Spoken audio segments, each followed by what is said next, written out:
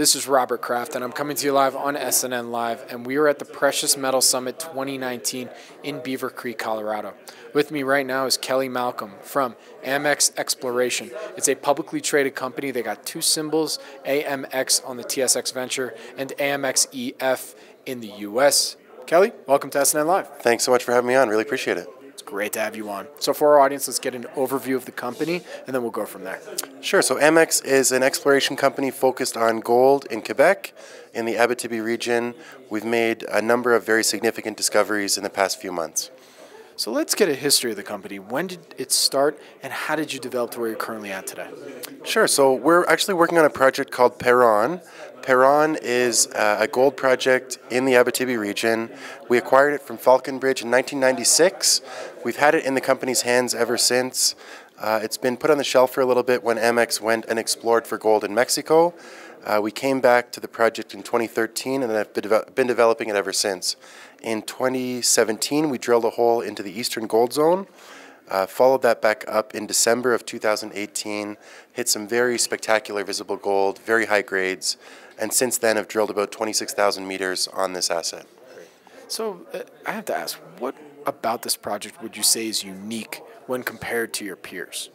Uh, high grade, high grade, high grade. So we've been hitting some spectacular drill holes, um, very continuous mineralization. Um, we've recently done some regional exploration as well, uh, stepping out from our main core area. Made two discoveries that we've announced in the past six weeks.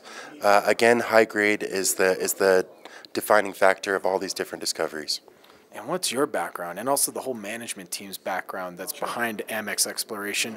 We got to hear about that collective history. Um, so I'm a geologist, previously with Detour Gold Corp. I uh, worked at St. Andrew Goldfields as well for a bit, and then I ventured into the junior market for a little bit. Uh, started working with Amex, with, with the president Victor Cantore and the chairman Jacques Trottier uh, earlier this year, and helping them develop this, this really prolific asset. Uh, Victor, the president, is a capital markets person, been involved in the junior market for 20 plus years. Jacques Trottier, the chairman, is a PhD geologist, previously with Celadon Exploration, which was acquired for, I think, $600 million a few years back.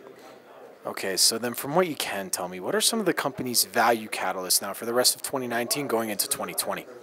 Uh, drill, drill, drill. So we've done 26,000 meters this year so far. We hope to do another 10 to 15,000 meters going forward uh, in preparation for a significantly larger campaign next year where we hope to have um, four drills on site targeting our three new discoveries plus one drill dedicated solely to regional exploration. And where can our audience go and find more information about Amex? AmexExploration.com. My name is Robert Kraft, and I'm coming to you live on SNN Live. And we're at the Precious Metal Summit 2019 in Beaver Creek, Colorado.